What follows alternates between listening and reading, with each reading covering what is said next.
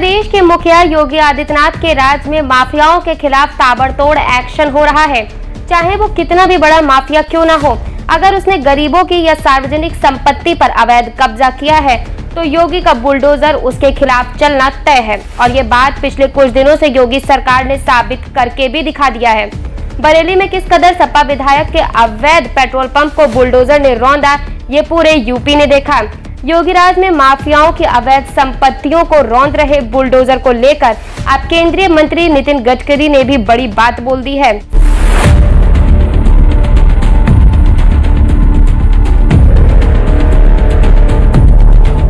सत्ता में लौटने से पहले सीएम योगी ने ऐलान कर दिया था कि 10 मार्च के बाद देखना पूरे यूपी में बुलडोजर दौड़ेगा। और इस बार तो बुलडोजर में हमने एक नया यंत्र भी लगा दिया है, जो माफियाओं को ढूंढकर उनके अवैध संपत्तियों को रौंदेगा। प्रदेश भर के जितने भी बुलडोजर थे, सबको अभी से मैंने मरम्मत के लिए काम पे लगा दिया है। मैंने कहा, एक महीने, अगले एक महीने के अंदर इनको मरम्मत करके ठीक करो। इनकी आवश्यकता 10 मार्च के बाद पड़ेगी। और भाइयों बहनों अब तो इस बुलडोजर पर हमने आर्टिफिशियल इंटेलिजेंस का भी एक उपकरण नया लगा लिया है। ढूंढ ढूंढ करके माफियाओं को ढूंढो। और निसंकोच, एक हाथ, एक एक हाथ पर विकास की छड़ी और दूसरे हाथ पर बुलडोजर का स्टेयरिंग लेकर के पूरे प्रदेश के अंदर घूम पड़ो। हम विकास भी कराएँगे और माफिया, प्रवृत्ति के तत्व जो इन दो तीन महीनों में फिर से अपना फन उठाने का कुत्सित प्रयास कर रहे हैं। इनको फिर से उनकी सही जगह भेजने का इंतज़ाम भी करेंगे। और इसी के लिए भाइयों बहनों, आज मैं आपके पास आया हूँ। चुनाव के दौरान योगी ने जो वादा किया था, उनके वादे के मुताबिक 10 मार्च के बाद से ही माफियाओं के खिलाफ बुलडोजर दहाड़ने लगा है और अब तक करीब ढाई हज़ार करोड़ की संपत्ति जब्त की जा चुकी है। योगी राज में माफियाओं के खिलाफ हो रही इस ताबड़तोड़ कार्यवाही की तारीफ़ अब तो मोदी सरकार के मंत्री भी करने लगे हैं। एबीपी नेटवर्क पर आइडियाज़ ऑफ़ इंडिया के कार्यक्रम में जब सड़क परिवहन और राजमार्ग मंत्री नितिन गडकरी से, जब बुलडोजर के बारे में सवाल किया गया तो उन्होंने कहा यूपी में योगी सरकार ने हिम्मत दिखाई है। गुंडों के खिलाफ उन्होंने कड़ी कार्रवाई की है।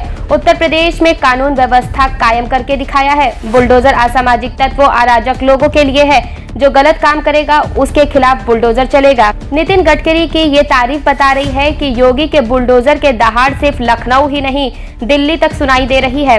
और ये दहाड़ माना जा रहा है कि इसी तरह सुनाई देती रहेगी, क्योंकि शनिवार को ही अपने गृह ज़िले पहुँचे सीएम योगी ने साफ़ कर दिया है कि माफियाओं के खिलाफ सरकार की ज़ीरो टॉलरेंस की नीति जारी रहेगी। देखिए, प्रदेश में माफिया के खिलाफ ज़ीरो टॉलरेंस की नीति और अपराधियों के खिलाफ ज़ीरो टॉलरेंस की नीति के तहत सरकार कार्य कर रही है। जनता जनार्दन का आशीर्वाद, सरकार के सुरक्षा और कानून, बेहतर कानून व्यवस्था के मुद्दे पर जनता जनार्दन का खासतौर पर आधी आबादी का आशीर्वाद भारतीय जनता पार्टी को प्राप्त हुआ। वे पेशेवर माफिया और अपराधी जो पहले सत्ता का संरक्षण प्राप्त करके प्रदेश में गरीबों का, व्यापारियों का, महिलाओं का उनकी सुरक्षा पे सेंध लगाने का कार्य करते थे, या जिन्होंने सरकारी संपत्ति पर और सार्वजनिक संपत्ति पर कब्जा करके प्रदेश में अव्यवस्था पैदा करने का कार्य किया था। जिन्होंने उस समय की व्यवस्था के लीकेजेज का लाभ उठा करके उस समय भ्रष्टाचार को बढ़ावा दिया था। तो पिछली सरकारों के कार्यकाल के दौरान जिन्होंने अनैतिक रूप से, अवैध रूप से शासकीय संपत्ति पर, सार्वजनिक संपत्ति पर, गरीबों की संपत्ति पर, व्यापारियों की संपत्ति पर कब्जा किया हुआ है।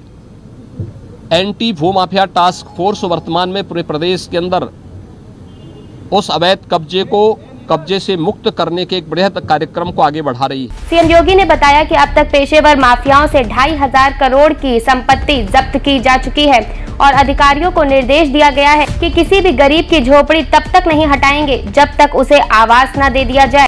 हम लोगों ने अब तक 2500 करोड़ रुपए की संपत्ति माफियाओं का पेशेवर माफिया। इसमें पेशेवर अपराधी भी हैं भू माफिया भी हैं खनन माफिया भी हैं वन माफिया भी हैं, पशु माफिया भी हैं। इन सभी माफियाओं से जुड़ी हुई उस संपत्ति को जब्त किया है और उस पर प्रभावी कार्रवाई चल रही है। लेकिन अपने आसियाना बनाने के लिए, अपना घर बनाने के लिए अगर किसी गरीब ने सार्वजनिक संपत्ति पर कहीं पर कब्जा किया या उसने अपनी झोपड़ी डाली हुई है तो उस झोपड़ी को तब तक प्रशासन नहीं हटाएगा, जब तक कि हम उसके लिए व्यवस्थित कोई सुरक्षित आवास उपलब्ध न करा दें। और इसके लिए पहले से व्यवस्था की गई, उसको आप चिन्हित करिए। अगर वह किसी आरक्षित श्रेणी की कैटेगरी नहीं है तो फिर उस गरीब को वहाँ उजाड़ा नहीं जाएगा, उसको वहीं का पट्टा वहीं पर हम उपलब्ध करवाएँगे। लेकिन आरक्षित श्रेणी की है तो उन स्थितियों में उन्हें सुरक्षित आवास उपलब्ध करवाने के बाद फिर व्यवस्था देंगे। ऐसे ही स्ट्रीट वेंडर को व्यवस्थित पुनर्वास करने की व्यवस्था और उन्हें सुरक्षित रूप से अपने रोज़गार को उपलब्ध करवाने की संभावनाओं को आगे बढ़ा करके पीएम स्वनिधि का भी उपयोग करते हुए राज्य सरकार इस पर कार्य कर रही है।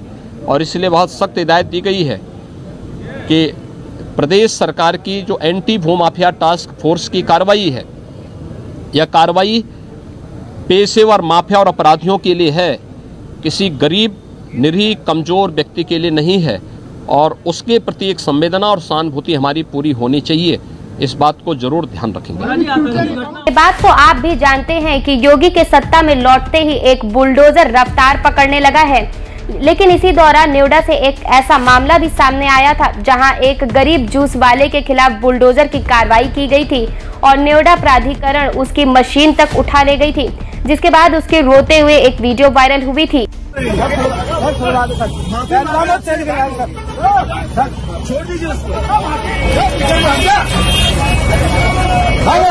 सोशल मीडिया पर वीडियो वायरल होने के बाद हालाँकि विंडीज सतीश गुज्जर को जूस निकालने वाली मशीन वापस कर दी गई थी। उसे विंडीज जोन में जगह भी दी गई, जिसके बाद उसने खुद सीएम योगी को इसके लिए धन्यवाद दिया था। मैं सतीश गुजर, माननीय मुख्यमंत्री उत्तर प्रदेश श्री योगी आदित्यनाथ जी को धन्यवाद देता हूँ कि अथॉरिटी के स्टाफ ने मेरा कोलू मुझे वापस कर दिया गया है, जो कि बिल्कुल सही, सलामत है और पहले जैसा है।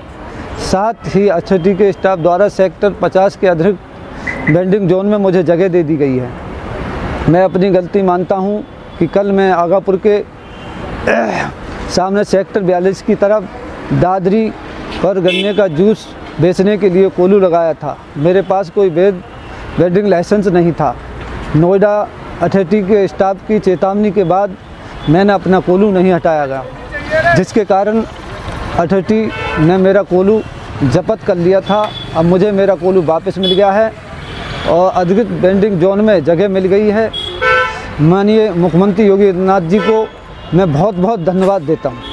इस तरह से गरीब स्ट्रीट वेंडरों के खिलाफ कार्रवाई की वजह से सीएम योगी ने साफ़ कर दिया है कि बुलडोजर की कार्रवाई गरीब और स्ट्रीट वेंडरों के खिलाफ नहीं होगी। इतना ही नहीं, स्ट्रीट वेंडरों की सुव्यवस्थित पुनर्वास और उन्हें स्वामी योजना का लाभ दिलाए जाने की भी पूरी तैयारी की गई है, जो बता रहा है कि सरकार की मंशा साफ़ है कि गुंडे, बदमाश और माफियाओं के खिलाफ जहाँ योगी सरकार ज़ीरो टॉलरेंस की नीति पर काम करेगी तो वहीं गरीबों के आशियाने और स्ट्रीट वेंडरों के खिलाफ बुलडोजर नहीं चलाया जाएगा। सरकार के इस कदम पर आपका क्या कहना है? कमेंट बॉक्स में हमें ज़रूर बताएँ। साथ ही वीडियो को लाइक करें और चैनल को सब्सक्राइब करें।